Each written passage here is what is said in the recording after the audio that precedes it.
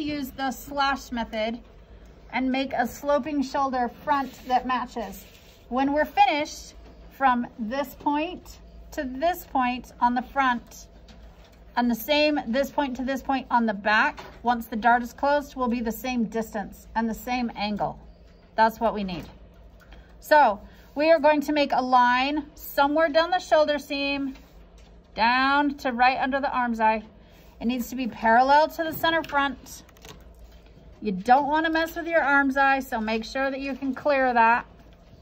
We don't want to mess with the darts, so we don't want to go too, too far. We're just going to make a line somewhere in there.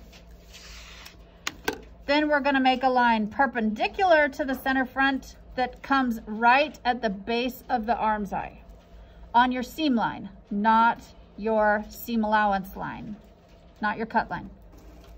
And we're just gonna swear that off. This is gonna be a right angle right here.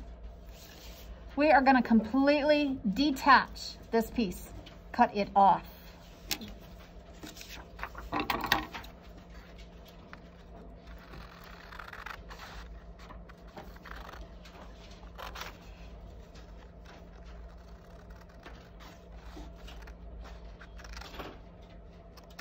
Zero scissor control. Totally detached. Comes totally off.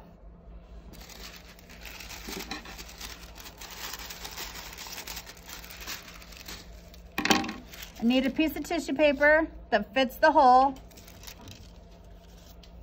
That fits the hole. Okay. And I'm just gonna tape that tissue paper in place so that it doesn't shift and go anywhere.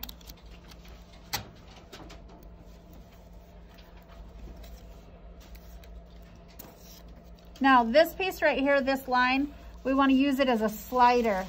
Can you see how that piece is shifting back and forth? But we're not overlapping into the piece because we're not taking width out of the shirt. We just need to change the angle up here. So it needs to stay flush to this line, but we are going to overlap it a quarter of an inch down here.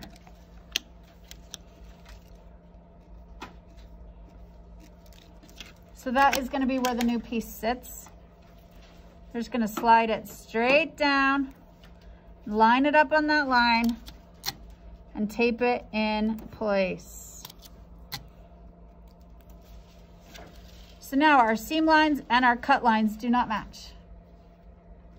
So we need to redraw the angle. Original seam line to original seam line. This line no longer applies. Original cut line to original cut line. This line no longer applies.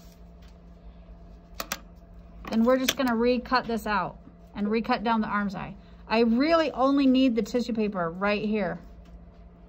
Everything else is gonna be pink, okay?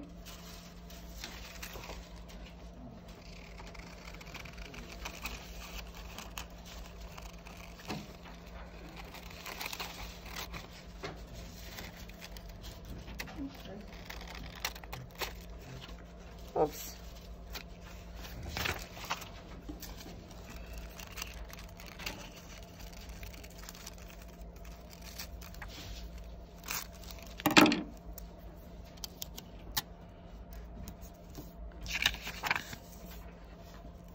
So the only place you can see tissue paper is this teeny sliver up here.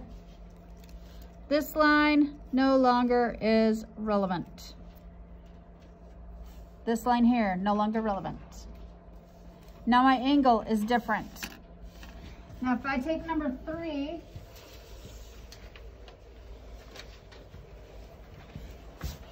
and I fold in my dart, and I put right sides to right sides,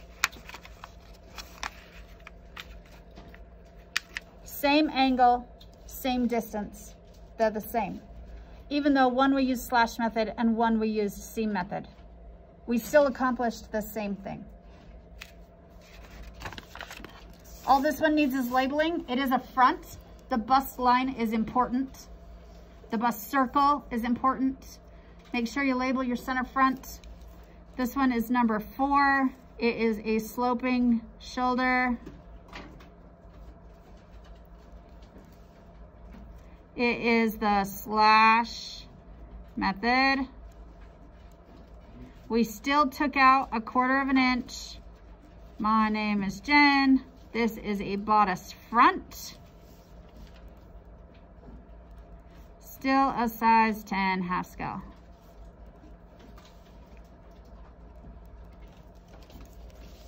Does that make sense?